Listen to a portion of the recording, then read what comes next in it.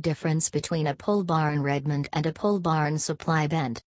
A pole barn Redmond and a pole barn supply bend have radical differences. You can build a pole barn yourself, get a kit or find a supply company which can send you all the materials. Regardless, you will need it built.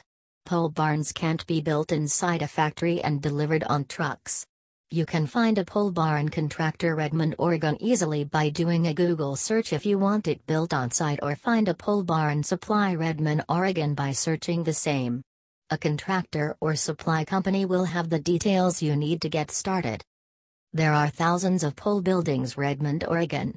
All you need to do is just drive out of the city and you will see them all over the place. We have written many articles about what they are so if you are interested in understanding what a pole barn is, just search it on our website. Redmond has more options of pole barns than Bend. Reason is, there are more farms closer to the city of Redmond than in Bend. What does this mean? It means you will most likely get better advice, materials and discounts buying from Redmond that from Bend. A pole barn Redmond, in Redmond, Oregon, takes all forms of shapes and sizes. There really isn't a standard size. Pole barn supply companies will not hand you a kit because even the kit will not fit into a warehouse.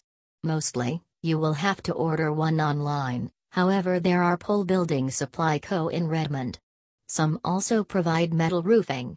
There is a place called Washington Pole Barn Kits which will ship one to your site.